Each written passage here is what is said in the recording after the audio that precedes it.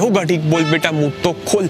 मेरा गुला नैप तो बाप बोला गैप मैंने मुँह पे मारा रैप उनको लगा था स्लैप लगा था स्लैप ये है जम्मू के 20 वर्षीय युवा सहज सबरवाल, जो तमिलनाडु एक कॉलेज से एरोनॉटिकल इंजीनियरिंग कर रहे हैं।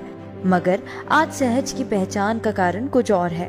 वो है एक यंग राइटर और ब्लॉगर के साथ साथ एक मोटिवेशनल स्पीकर के रूप में उभरना। वो अब तक दो किताबें लिख चुके हैं ये मतलब मैं जैसे थोड़ा बहुत लिखता रहता था बचपन में।